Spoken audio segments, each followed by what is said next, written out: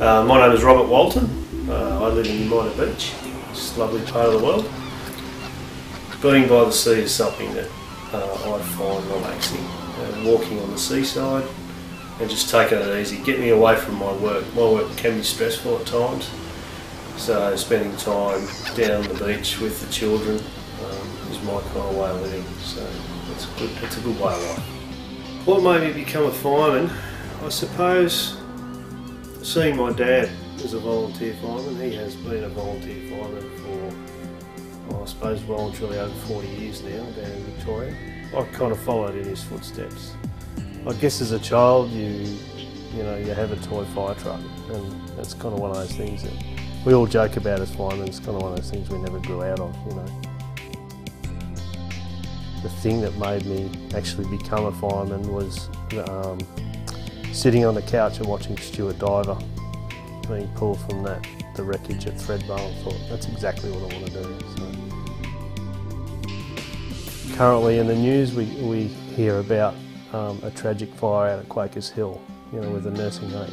For those firemen, they never anticipated um, that they would one morning uh, go to a fire as such. Um, for, for, I guess every fireman's worst nightmare. Uh, you know, every fireman's worst nightmare is not being able to rescue someone, and, and so for me, yeah, it, look, it, you wake you you wake up in the morning, you go to work, you don't know what your day is going to bring you. Um, sometimes it can be exhilarating, sometimes it can be absolute tragic. It's just what the roll of the dice is in that day. The fire brigade teach teamwork. Um, from basically your inception, when you start as a, as a, a, um, a, recruit, right to the very day that you leave the job, you're part of a team. So you're trained to, to operate in a team, team environment. Um, so having your buddy next to you when you go into a, a foreign environment um, is probably the most comforting part, is the fact that you're not going to be left on your own and that you've always got someone to rely on. Uh, I can recall a, a, period of time where we were fighting house fire and the ceiling fell in. Um, and the, the person I was with was forward about six feet. We were on our hands and knees and the ceiling fell in um, and fell directly on top of him and came down in front of me. Um, fortunately, he was all right. Sometimes it's really tough. It's really tough because you, you often do think, you know, am I going to come home today? Um, maybe if everyone thought that when they walked out the door and, and, when they went to work, they'd be a bit more careful, a little less blasé, I suppose.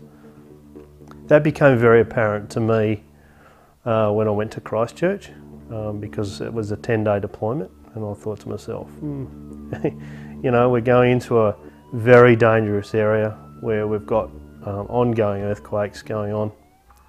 How's, how's this going to go, you know?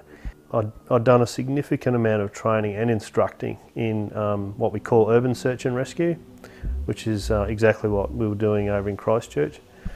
We were under the one of the um, one of the buildings, and we had a quite a strong aftershock, and the place was still creaking and moving around, and there was dust falling and debris.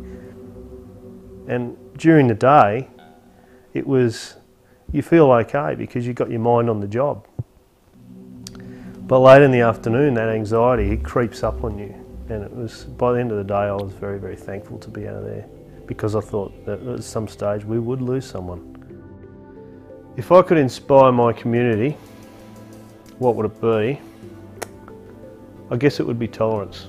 You know, being a, being a single dad who's a fireman, works shift work with three children, um, you know, we're often looked upon, single, single parents are often looked upon with um, far less tolerance, I think, than married couples. For me, it's all a matter of coming here, coming home. This is, this is my place where there's peace and I can discharge here or going for a walk down the beach, which is why, and again, I love living up here because it's close to the beach. That's my ability to discharge and ultimately having children having children that love you um, without any other motivations. Um, that grab your legs when you walk in the door. That's the thing that discharges me. Just seeing the smile on their face when you walk back in the door, nothing else matters then. So, yeah, it's tops.